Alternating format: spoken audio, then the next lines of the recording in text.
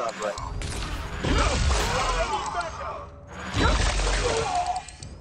The weapon that you just saw and are currently seeing gameplay of is called the Prismatic Hammer, and it is one of the science weapons in the Outer World.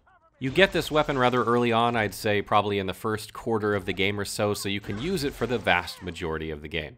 What makes this weapon so good is not its standard R2 attack, but its charged R2 attack, or power attack, that unleashes a wave of colors that is absolutely devastating in a line straight ahead.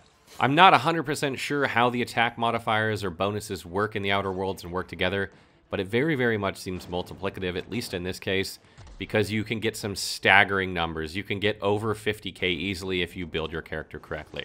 So the best way to get the maximum damage out of this weapon, which is just stupidly ridiculous, you could probably hit 100k under the right circumstances, but the best way to maximize this damage is to max science skill out at 100, have strength maxed when you create your character, and have intelligence maxed when you create your character. This is going to increase melee damage by 30% and increase critical uh, damage by 35%, meaning every time you crit, you're going to do more damage, which you will on every strike with this.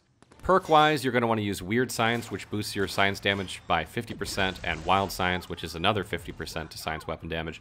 And you're going to want to use the perk Confidence, because this skill allows you to critically strike automatically after you kill an enemy. So if you kill an enemy with this shockwave, then you crit the next one, then you crit the next one, then you crit the next one, you never stop critting.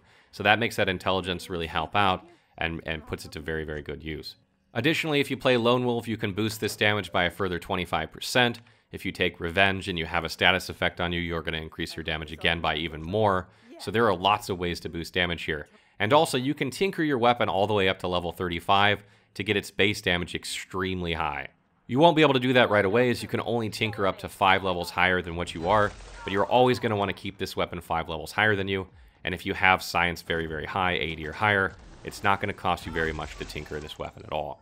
If you want to get really, really silly, you can actually sneak attack things, put more points into sneak, so that when you're sneaking around, your sneak attacks hit for like an extra 70 to 100% damage. It's stupidly overkill. You don't even it, it's just ridiculous at that point. You don't need to sneak around slowly and kill things when you can just run through them and smash them in the face with 20,000 damage and they die just the same as 60,000 damage. It's it's silly. Just make sure you have extremely high armor when you're doing this and you can just speed run the game, just whack whack, just play whack-a-mole with these things. It's stupidly silly. I imagine this is going to get nerfed. I don't even know if it'll be nerfed before this video comes out, but it's going to be nerfed at some point because it's so ridiculously broken. Anyway, if you're looking for a good weapon to play the Supernova difficulty on, I cannot recommend this one enough. Get it, smash things, win.